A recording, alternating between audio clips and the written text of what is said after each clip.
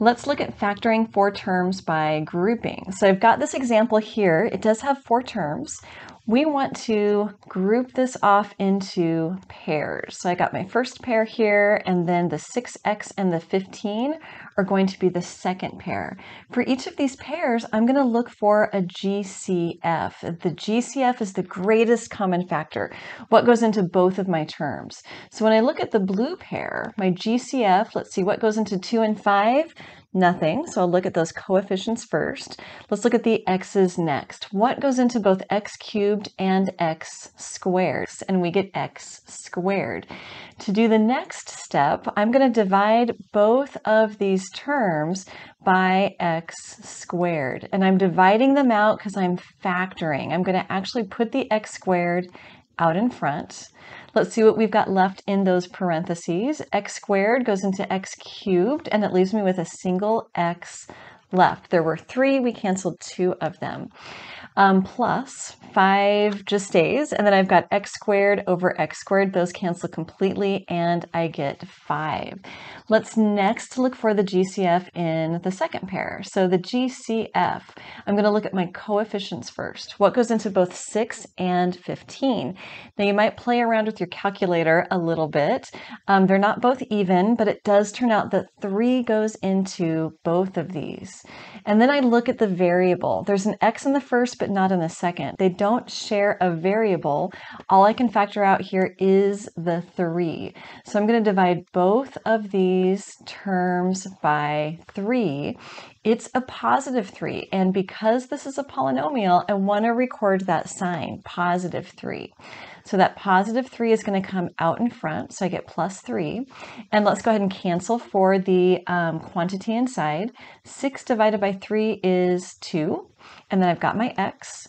15 divided by 3 is 5 plus 5.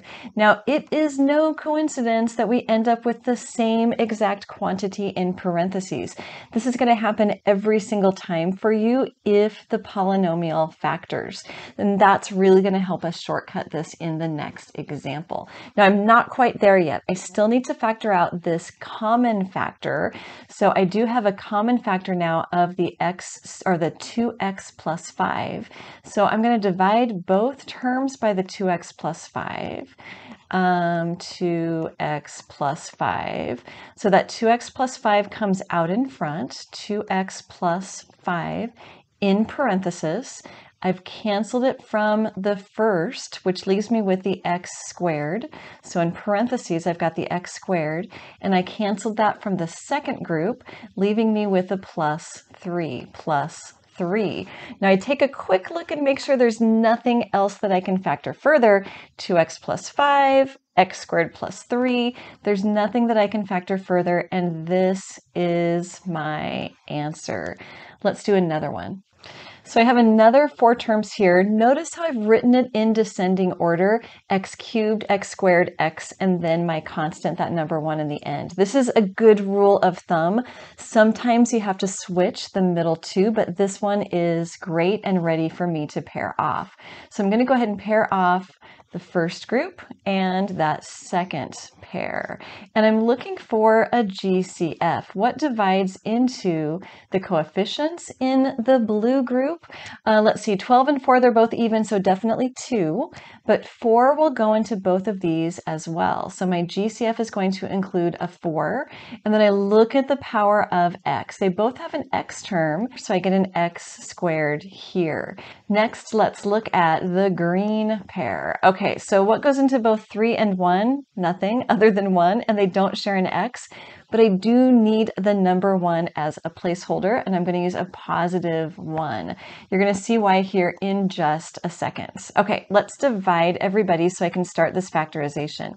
In the first pair, I'm dividing by 4x squared 4x squared. That's going to come out in front, so I get 4x squared.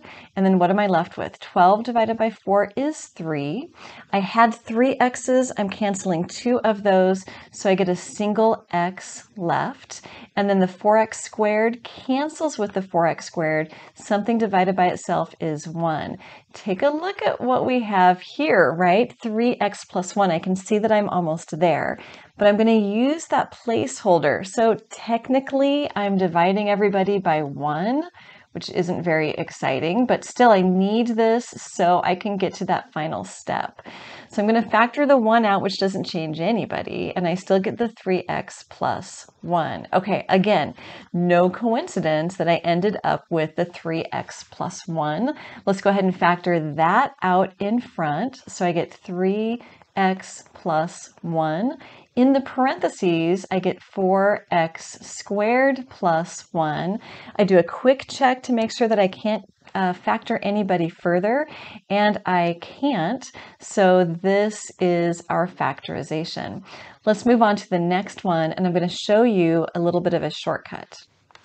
In this one, again, I've got four terms and I have some different variables, so it's tougher to put this one in descending order, but I'm gonna go ahead and leave it grouped as it was given to me. Okay, so I've got my two pairs here. I promised I was gonna show you a shortcut and that one's coming up. I'm gonna look for my GCF for this first pair. So I'm gonna start with those coefficients. What goes into both 35 and 5? 35 is divisible by 5, so I can go ahead and use 5 for my GCF.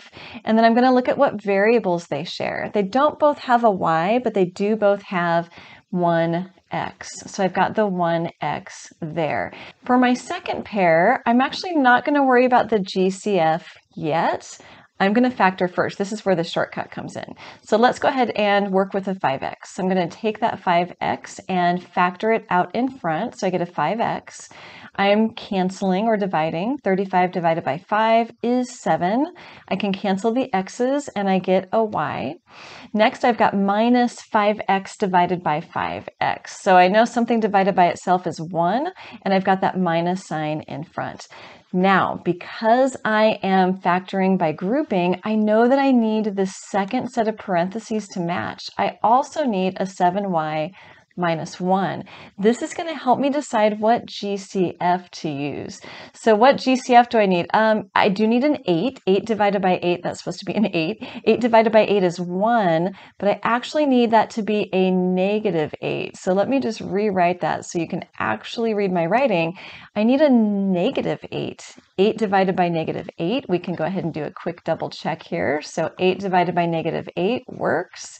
And then negative 56 divided by negative 8, 56 divided by 8, and you could use your calculator if you needed it, does get me to a positive 7, and the y is left. And I don't want to forget to record the negative 8 out in front. So a really nice way to make sure that you're getting to that quantity um, inside to match.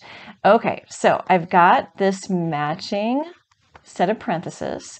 I can factor that out in front, 7y minus 1. And then what am I left with? I'm left with a 5x inside the parenthesis and a negative 8 inside the parenthesis. Neither of these factor further, so I've got my solution. In the next one, I'm going to show you how to group 3 together and 1. Our goal for that one's going to be a difference of squares. So let's look at another type of grouping. In this next one, and it might take a little bit of trial and error and just some practice so that you can recognize this, I do have, and I'm going to put this all in blue here, this is a trinomial perfect square. And I recognize that in two ways. I recognize that because I have an x squared in front, and my last term is also a perfect square. It happens to be 2 squared. The other way that I can recognize that I'm going to factor this one different is because I also have a perfect square on the end with a minus sign. So I'm subtracting, let's see, that would be a 5 and a y squared. So I've got a couple of perfect squares in here. So my goal is going to be to group this as three, and this first group is going to be um, my trinomial perfect square. So this is a perfect square trinomial. And then I'm going to factor using the difference of squares. Okay, so watch how I do this. I'm going to work with that first group. Um, that first group, I can go ahead and factor this one. I need x times x in the first position. And if you haven't yet factored trinomials, take a look at the link down in my description. There's a couple of great videos there for you to watch. To get to the 4 on the end, 4 is 2 times 2. So I'm going to do a plus 2 and a plus 2. I can do a quick check to make sure that the middle works out. 2x plus 2x is 4x. Continuing to simplify that blue group, I end up with x plus 2 quantity squared. Now I'm really just tagging along this second minus 25y squared. So I'm just going to bring that down, minus 25y squared minus 25y squared. Now what I have is a difference of squares, and I know that I can factor a squared minus b squared into whatever got squared, their sum, a plus b, times their difference, a minus b. So in this example, a is equal to what I've got in blue. So a is equal to x plus 2, and b is equal to what I've got in green there. It was a 5 that was squared and a y that was squared. So 5y. So I'm identifying what the a and the b are, and then I can dive right into my factorization. So I need a plus b and then a minus b. Okay, so here comes a. a is x plus 2 plus b, we're going to do that first, plus 5y, and then again x plus 2 minus 5y. There's actually just maybe a tiny bit of cleaning up that I can do, not really a lot here, but let me go ahead and write this as my answer. I'm going to write x, I'm going to do the variable terms first, plus 5y plus 2.